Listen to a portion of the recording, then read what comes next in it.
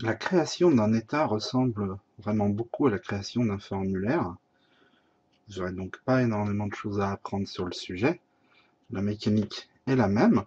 Le distinguo qu'il faut simplement garder en tête, c'est que l'état n'est pas fait pour être à l'écran, l'état est fait pour être imprimé. Dès lors, c'est parfaitement logique. Il n'y aura pas par exemple de bouton sur les états. Euh, on peut au départ l'oublier pas comprendre pourquoi ça fonctionne pas. Bah, tout simplement, vous avez peu de chances de cliquer sur une feuille de papier, on clique sur un écran.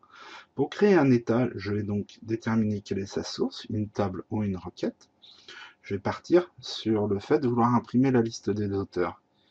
C'est donc dans la table auteur que je vais trouver la source de mon état. Je viens d'en créer, état. Et automatiquement, l'assistant de Access crée mon état j'arrive dans l'équivalent du mode d'affichage page, sachant que comme il s'agit bien de quelque chose qu'on imprime, nous n'avons ici un mode aperçu avant l'impression et le bouton imprimer qui permet de l'imprimer. Aperçu avant l'impression peut fermer ici. Le mode création et ce mode entre les deux que nous avons déjà vu dans le mode formulaire, le fameux mode page, qui nous permet très visuellement de travailler. La clé, la clé primaire, par exemple, nous ne la souhaitons pas. J'appuie sur Supre sur mon clavier et je l'enlève. On voit que l'assistant a mis la date et l'heure et que par défaut, il a indiqué comme titre de l'état la table auteur, qui est la source donc de mon état. À moi en mode création d'aller retravailler sur ce contrôle simplement en supprimant et en tapant que je souhaite voir apparaître. Les auteurs par exemple.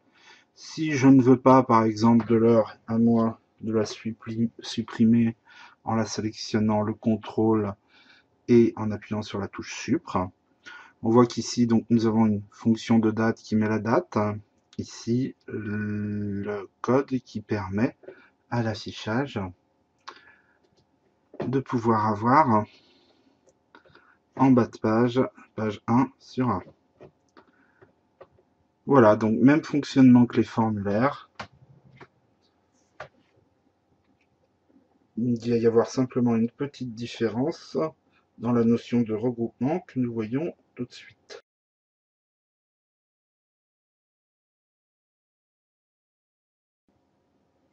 Nous venons de voir un état simple créé sur une simple table, la table auteur, qui affiche la liste des auteurs, de telle manière à pouvoir l'imprimer. Maintenant, je souhaiterais imprimer la liste des auteurs et leurs ouvrages.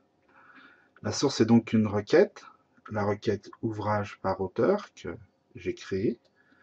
Donc, pour voir sa création, j'ai ramené les tables auteur, la table ouvrage, pour avoir le nom, le prénom et le titre de l'ouvrage, et bien entendu la table qui les lit, sans quoi ma requête n'aurait pas fonctionné, car la base de données n'aurait pas pu savoir quel auteur a écrit quel ouvrage. Dès lors apparaît la liste, liste que je vais donc pouvoir imprimer en créant un état. Je viens donc créer un état et on voit qu'automatiquement, il me crée bien l'état souhaité, mais, et c'est un gros mais, Philippe Cadic apparaît autant de fois qu'il va y avoir d'ouvrages différents qui lui sont attribués. Dès lors, il lui était sans doute plus lisible de voir apparaître l'auteur une seule fois, puis les ouvrages qu'il a écrits, avant de passer à l'auteur suivant. Il s'agit de la notion de regroupement dans les états. Je vais donc créer mon état, cette fois-ci non pas en laissant Access faire, mais en utilisant l'assistant, où je vais lui indiquer donc que je souhaite avoir le nom et le prénom de l'auteur ainsi que le titre de l'ouvrage. Et c'est à cette étape qu'il va me demander quel type de regroupement je souhaite avoir. Là, par exemple, j'ai le nom de l'auteur et les ouvrages qu'il a écrits. Ici, j'aurai l'ouvrage et les éventuels plusieurs auteurs qui l'ont écrit. Moi, c'est bien par auteur que je souhaite regrouper pour cet état. À l'étape suivante, il me demande si je souhaite ajouter un nouveau niveau de regroupement. Dans le cas euh, d'une requête plus complexe avec de nombreux champs, ça pu été utile, mais là pour le coup ça ne l'est pas. Ici je vais pouvoir trier par ordre alphabétique dans le niveau de regroupement par exemple les titres. À cette étape, il me propose on le voit sur les aperçus ici, divers mises en forme. Il s'agit bien simplement de mise en forme. Là, c'est le style général. J'ai plusieurs modèles à ma disposition, dont nous voyons apparaître ici un aperçu d'exemple. À moi de nommer mon état pour l'enregistrer. Donc état, auteur, ouvrage par exemple.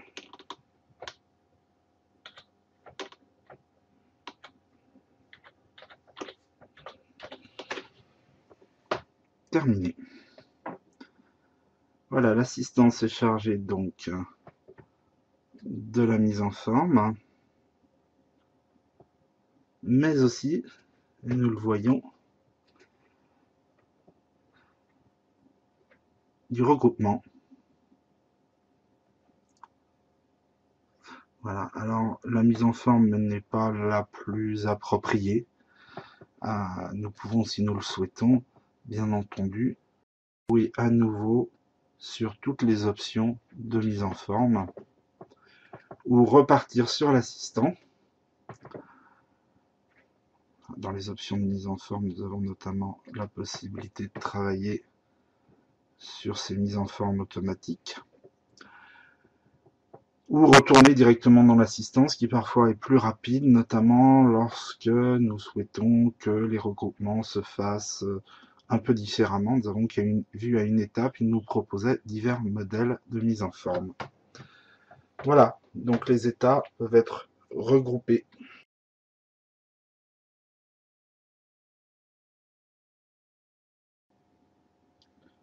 Comme pour les formulaires, nous pouvons agir sur les états via des boutons.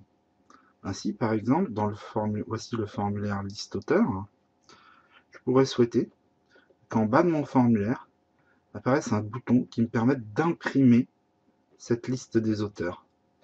on pourrait imprimer le formulaire tel quel, ce qui serait assez peu approprié car les formulaires ne sont pas faits pour être imprimés. Par exemple, le bouton d'impression lui-même apparaîtrait. Nous allons donc lancer l'impression de la liste des auteurs via un état, ce qui est la bonne façon de faire sous Access. Pour ce faire, dans le formulaire liste des auteurs, je me mets en mode création.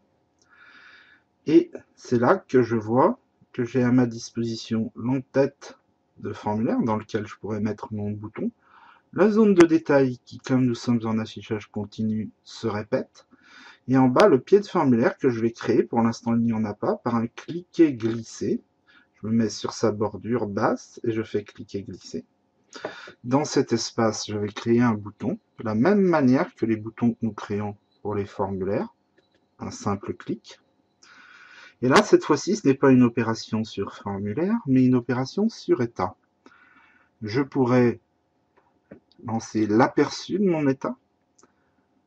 Moi, c'est bien l'impression de mon état qui m'intéresse, donc imprimer un état. Suivant. Il me demande quel état La liste des auteurs. Suivant.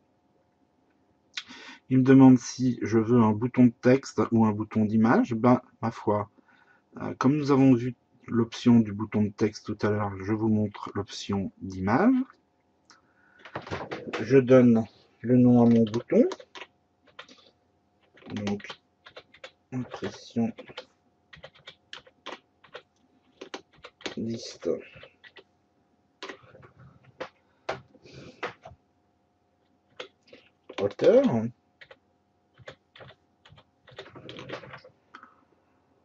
Voilà. Et voilà, j'ai mon bouton. Si je viens en mode formulaire, je vois qu'apparaît en bas mon pied de formulaire sur lequel j'ai le bouton imprimé. Si je clique sur ce bouton à imprimer, c'est bien l'état qui va s'imprimer, c'est-à-dire l'état liste auteur que nous voyons ici.